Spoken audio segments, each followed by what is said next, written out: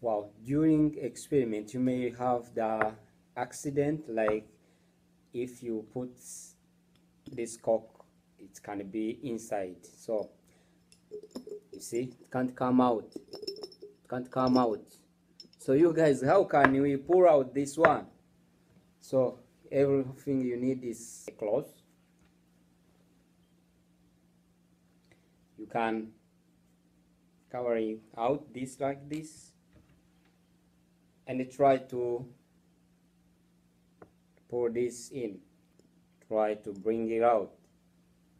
Let us try and see. And try. Yeah can you bring it out?